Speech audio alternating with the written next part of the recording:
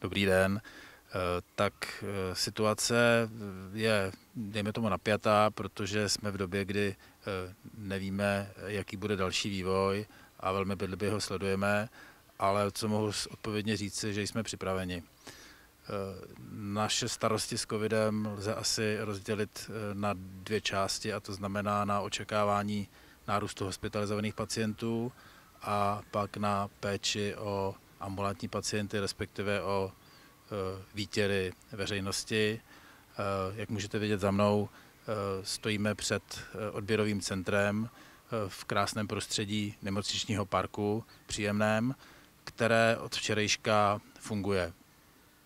Zřídili jsme ho velmi rychle a impulzem byla výzva Všeobecné zdravotní pojišťovny a ministerstva zdravotnictví. Tyto dvě instituce se na nás obrátily, abychom ulevili i stávajícím odběrovým centrum, eh, kterých je nedostatek. Nám se podařilo velmi rychle centrum vybudovat, zřídit registrační systém pro pacienty, zajistit ho personálně, tak abychom zvládli plánovanou kapacitu 300 odběrů denně.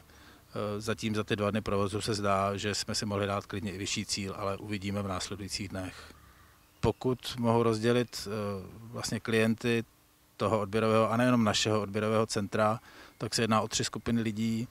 Jsou to lidé, které vytipovala hygiena, protože byli v kontaktu s někým pozitivním. Pak to jsou lidé, kteří odeslali jejich praktičtí lékaři, protože mají nějaké klinické příznaky respiračního onemocnění, které by mohlo být covidem. A konečně samopláci. Takže o všechny tyto tři skupiny jsme schopni se postarat a udělat jim výtěr. A jaká je cena výtěru? Eh, stejně jako okolní odběrová centra eh, si necháváme platit 1756 korun za výtěr, což je cena povolená a doporučená ministerstvem zdravotnictví.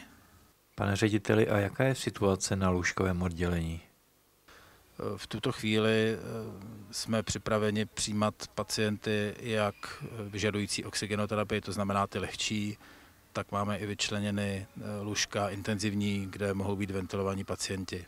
Momentálně máme na obou těchto eh, částech po jednom pacientovi.